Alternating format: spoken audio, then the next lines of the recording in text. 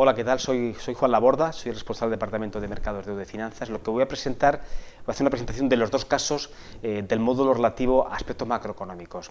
Son dos casos diametralmente opuestos. No suelen ser casos usuales, numéricos, en el cual hay una solución específica y está bien o mal hecho. Aquí hay, hay alternativas de respuesta, lo que me interesa es que razonéis en función de lo que tenéis. Se presentan dos casos. En el primero de ellos, eh, cuyas preguntas aparecen aquí, eh, os aportamos una serie de gráficos y de cuadros relativos a la economía española, la acumulación de, deuda de los diferentes sectores económicos, la situación del sistema bancario, eh, gráficos relativos a inflación, a mercado laboral, a sectores techos. Y a partir de ahí os pedimos brevemente que respondáis a cinco preguntas, que analicéis la dinámica de la deuda de nuestro país, razonarlo en función de lo que hemos ido aprendiendo en el concepto, en el propio módulo sobre las entidades contables básicas.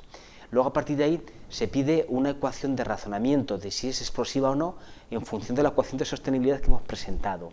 Y luego, cómo podemos relacionar la situación de endeudamiento con el comportamiento del sector bancario cuyos gráficos también tenéis eh, explicados ahí, o por qué las bajadas de tipos de interés realmente no han facilitado la circulación del crédito. Eh, y luego también eh, la mejora del sector exterior, ¿a qué se ha debido? Tenemos todos los ingredientes en el módulo, en la parte teórica, para que lo respondáis. Son multitud de cuadros, pero quiero que utilicéis y razonéis en base a lo que habéis ido aprendiendo en el, en el módulo. Y vuelvo a repetir, aquí no hay una respuesta cerrada como un caso usual. Luego, la continuación, lo que vamos a ver es el segundo caso. El segundo caso es más de economía internacional.